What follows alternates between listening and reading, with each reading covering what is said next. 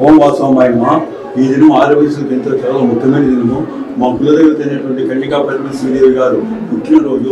ఈ ప- పెద్ద పండగ మాదిరిన దసరా గారు ఏ విధంగా చేసుకుంటారో ఈ వాసవి జయంతి పండుగ కూడా ఆరోగ్యశ్రీతో చాలా వైభోగంగా భోగవాక్యములతో చేసుకుంటారు చాలా ఆడంబరంగాను వివిధమైనటువంటి సాంఘిక కాలకృత్యాలు తీర్చుకుంటూ విలువైనటువంటి విలువైనటువంటి వాయిద్యాలతోనూ డ్యాన్సులతోనూ అమ్మవారిని ఊరేగింపు చేస్తారు అదే మహిళా మండలి వారు వచ్చేసి నూట పది కలశాలతో వారు ఏమి భోజనం కానీ ఏమీ చేయకుండా స్నానం చేసుకొని కలశాలు మూసేదా మూసుకొని వస్తారు.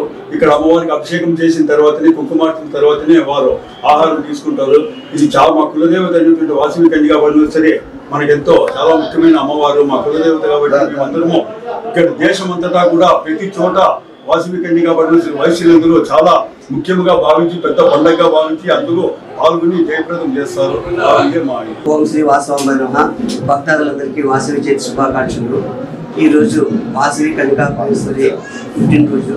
అమ్మమ్మ మా- మా కులదేవత వైష్ణవుడు వైష్ణవుడు కులదేవత ఈ అమ్మవారి గురించి చెప్పాలంటే ఒకే ఒక విషయంలో చెప్పాలంటే అమ్మవారికి వాసవి అనేటువంటి నామకరణం ఏ విధంగా జరిగింది దాని యొక్క ప్రాముఖ్యత ఏంటి వాసవి అనేటువంటి అక్షరంలో పదంలో మూడు అక్షరాలు ఉన్నాయి వా అంటే వాగ్దేవి. వాగ్దేవి అంటే సరస్వతి దేవి సా అంటే సత్యవతి దేవి లక్ష్మీదేవి.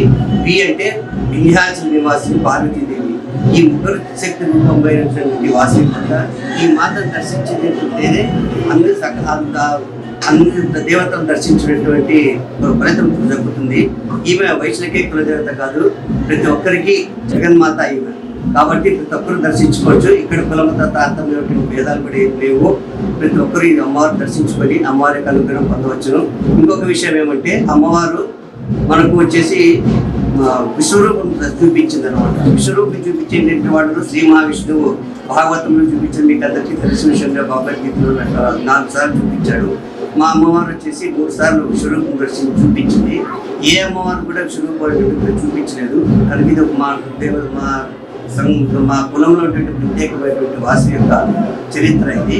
కనుక అమ్మవారు వచ్చి త్యాగ స్వరూపిణి త్యాగ స్వరూపిణి అంటే అమ్మ ఒక రాజు మోహిస్తాడు అనమాట ఆ రాజును వివాహం చేసుకోవాలని ఆయన జనా బలవంతం చేస్తే ఆయన నేను చేసుకోను నేను సీజ్ చేశాను. పార్వతి శివుడే చేసుకుంటాను నేను శివేకాంక్షలో వచ్చేటువంటి దాన్ని అని చెప్పి ఆమె ఆత్మాహుతి చేసుకుని నూట మూడు అగ్నిగండాలు ఏర్పాటు చేసి నూట రెండు మంది వయసు బొద్రికులు అగ్న ఆహుతి అయినారు. నూట మూడు ఆమె అగ్నిగుండంలో ఆమె ప్రవేశించి ఆహుతి అయింది. ఈ విధంగా ఆమె త్యాగం చేసింది తన జీవితాన్ని త్యాగం చేసింది. అటువంటి మహత్తరమైనటువంటి గరిచరిత్ర కలిగినట్టు మా వాసి జయంతిని ఈరోజు అత్యంత వైభవం జరుపుకున్నందుకు మాకు చాలా సంతోషంగా ఉంది. దేవస్థానం ప్రత్యేకమైన కార్యక్రమాలన్నీ ఏర్పాటు చేశారు. ఉదయం నాలుగు గంటలకు బ్రాహ్మీ దర్శనం అటువంటి కార్యక్రమం ఏర్పాటు చేశారు. బ్రాహ్మీ దర్శనం అంటే ఉదయం వాళ్ళు లేస్తున్నట్లే అమ్మవారిని కళ్ళు కూడా తెలుసుకోకుండానే అట్లే పిలుచుకొని వచ్చి అమ్మవారి దగ్గర పిలుచుకొని వస్తారు అనమాట ఇక్కడ పడుకోవడానికి ముందు రోజు రాత్రి పడుకోవడానికి ఏర్పాటు చేశారు.